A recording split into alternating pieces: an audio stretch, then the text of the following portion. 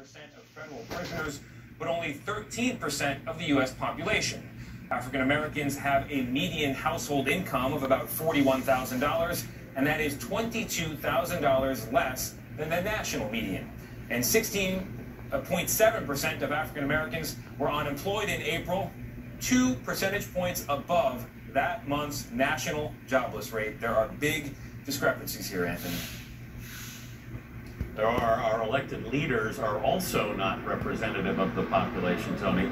Just 153 African Americans have served in the House of Representatives since 1789, and only 10 in the U.S. Senate. And of course, we've only had one black president. The numbers tell quite a story there, gentlemen. Outrage and protest over the death of George Floyd in police custody are the latest chapter of a long struggle by black Americans. The fight for racial justice and equality embodied by the civil rights movement spans the entire history of our country. So we spoke with a number of civil rights activists from different generations to get their perspectives on what we're all witnessing today.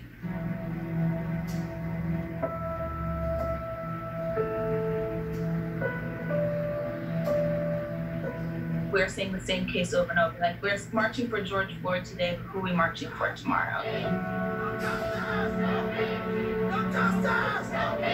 Right now in 2020, we're still existing in a world and a space, especially here in America, where racism and anti-blackness is deeply rooted in our everyday system. I'm really sad for the family of George Floyd. They killed him like a dog in the street. I'm frustrated we can't get justice. I'm emotional because I don't know what I will tell my, you know, my little black children that I'm raising about how to go out and operate in this world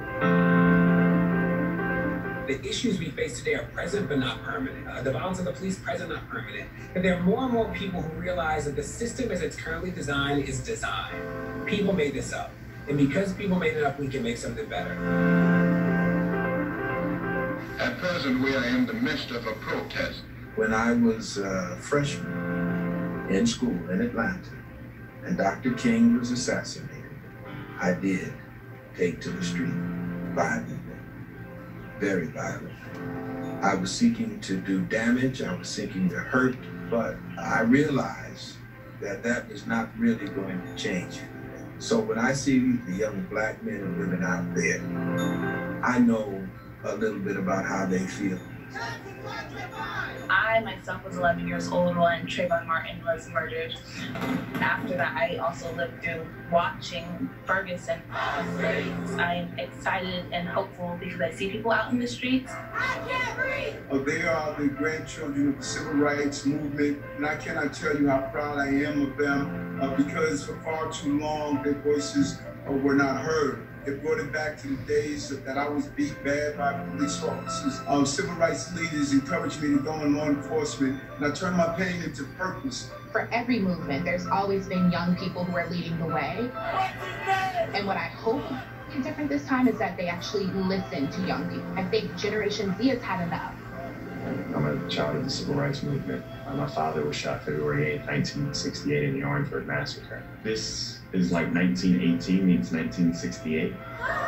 Um, you have a great pandemic, and you have a country that is teetering on edge, but we have to work together to overcome. And I'm hopeful that we can have a sense of understanding. I know it was hope that carried me when I was in the street for 400 days in St. Louis in 2014. But I know that we are fighting for a world that we believe in, but we have not yet seen. I'm always telling a story about a world that I know is true, but I have not been to. We took Dr. King's dream and as a blueprint and began to build.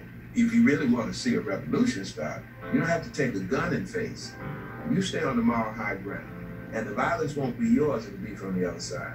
That's the way it was in civil rights. That's the way it was before.